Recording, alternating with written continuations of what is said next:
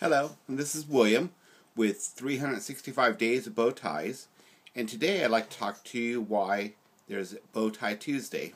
And the story is fairly simple. At work, I once wore a tie on Tuesdays, or perhaps once or twice, and after that I found that if I did not wear the bow tie on Tuesday, people were a little upset, unhappy. They seemed to really enjoy that little bit of different thing during the week. So they just decided to um, call this Bow Tie Tuesday, and since then I have been wearing bow ties not only just for work, but also my friends, family, other people have come to recognize this as Bow Tie Tuesday. I've seen other people try other days, and it's perfectly fine and stuff. Just for me, this has always been my traditional day to make sure I wear a bow tie. I don't always wear one on other days. Uh, oftentimes I will, but not always.